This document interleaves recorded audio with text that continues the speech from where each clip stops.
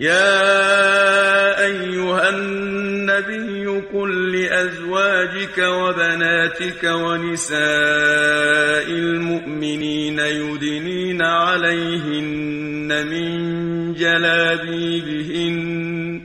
ذلك أدنى أن يعرفن فلا يؤذين.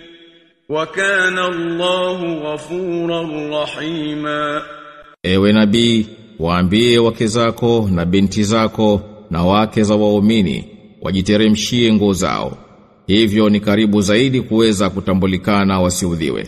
Na Mwenyezi Mungu ni mwenye kusamehe, mwenye kurehemu. La illam yantahi almunafiqun walladhina fi qulubihim maradun walmurjifun fil madinati lanughriyannaka bihim thumma la yujawirunaka fiha illa qalila.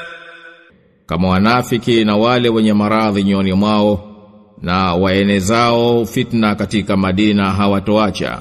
Basi kwa yakini tutakusalitisha juu yao kisha hawatakaa humo karibu yako ila muda mchache tu. Mal'unina aina ma thuqifu ukhidhu wa kutilu takutila wamelaanika popote watakapoonekana watakamatwa na watauliwa kabisa. Sunnatallahi fil ladhina khalu min qabl. Walan tajida li sunnatillahi tabdila. Hii ni ada ya Mwenyezi Mungu iliyokuwa kwa wale waliopita zamani. Wala hutapata mabadiliko katika ada ya Mwenyezi Mungu. Yasalukan nasu anis saa قل إنما علمها عند الله وما يدريك لعل الساعة تكون قريبا Watu wanakuuliza habari ya saa sema ujuzi wake uko kwa Mwenyezi Mungu na nini kitakujuvya pengine hiyo saa iko karibu إن الله لعن الكافرين وأعد لهم سعيرا Hakika Mwenyezi Mungu amewalaani makafiri na amewaandalia moto na uwaka kwa nguvu. Khalidina fiha abada la yajiduna waliyan wala nasira. Watadumu humo milele hawampati mlinzi wala wa kuwanusuru. Yauma tuqallabu wujuhuhum fin nari yaquluna ya laitana أطعنا الله وأطعنا الرسولا Siku ambayo nyuso zao zitapinduliwa pinduliwa katika moto.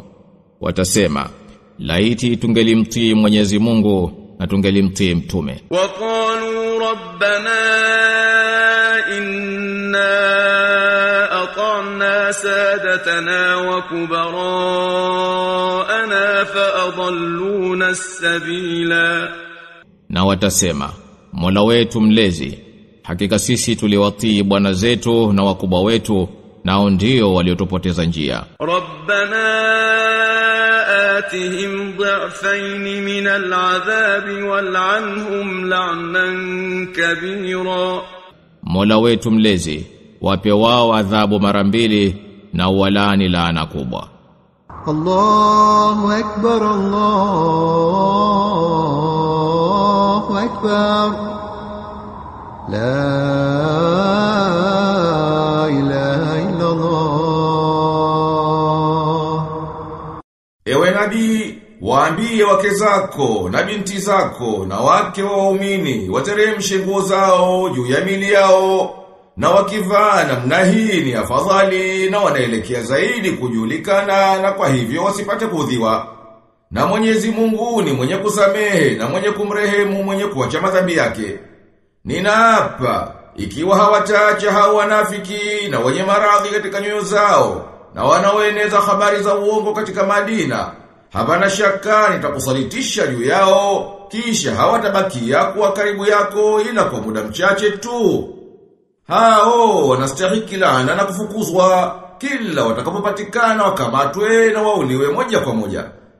Mwendo wa Mwenyezi Mungu mtukufu tangu zamani kwa waliokuwa wakiwafanyia unafiki manabii na mitume na wakiasi ni kuwa huwa wa kila wanapokutikana wala mwendo wa Mwenyezi Mungu haugeuki. Watu wanakuuliza lini itasimama saa ya kiyama? Waambie hao hakika ujuzi wa wakati wake uko kwa Mwenyezi Mungu peke yake.